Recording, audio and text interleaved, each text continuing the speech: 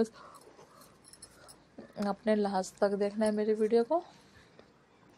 और इसी तरह फिर मैं आपके लिए खूबसूरत एंड ब्यूटीफुल आइडियाज़ लेके आते रहूँगी। लुक में बहुत ही खूबसूरत लुकिंग आइडिया दिखाए गए अल्लाह हाफिज़ गाय